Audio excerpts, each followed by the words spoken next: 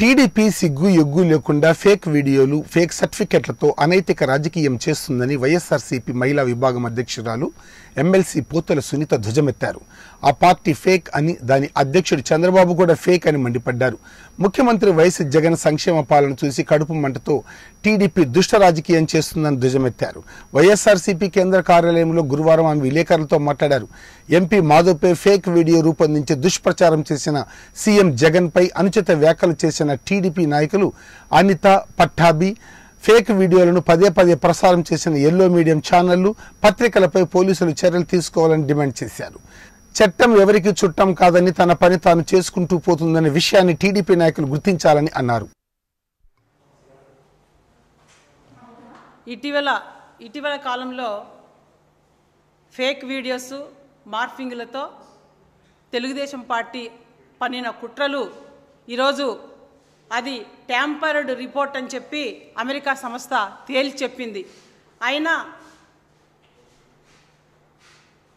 మొన్న మొన్నటికి మొన్న ప్రెస్ మీట్లు పెట్టించి చంద్రబాబు నాయుడు ఈ అడ్డగాడుదలతో ఇష్టానుసారంగా మొరిగించడం జరిగింది. వీరిని ఖచ్చితంగా ఇలా అడ్డగాడిదల్లో వ్యవహరిస్తూ మృగాల్లో వ్యవహరిస్తూ ఈ రాష్ట్రంలో ఎలాంటి సంకేతాలు ఈ- రాష్ట్ర ప్రజలకు ఇస్తున్నారనేది కూడా ప్రజలందరూ కూడా ఆలోచిస్తున్నారు.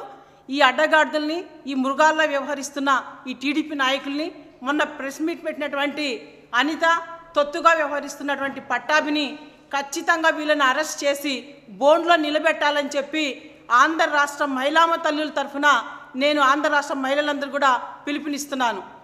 ఈ రాష్ట్రంలో మహిళలు ఉన్నారు సభ్య సమాజం ఉంది అనేది గుర్తించకుండా దుర్మార్గంగా వ్యవహరిస్తున్న తెలుగుదేశం పార్టీ చంద్రబాబు నాయుడు లోకేష్కి కూడా మహిళామ తల్లులందరూ కూడా బుద్ధి చెప్పడానికి నడుం బిగిస్తున్నారనేది కూడా చంద్రబాబు నాయుడు గారు గుర్తుపెట్టుకోవాలని చెప్పి కూడా నేను ఈ సందర్భంగా చంద్రబాబు నాయుడు తెలియజేస్తున్నాను.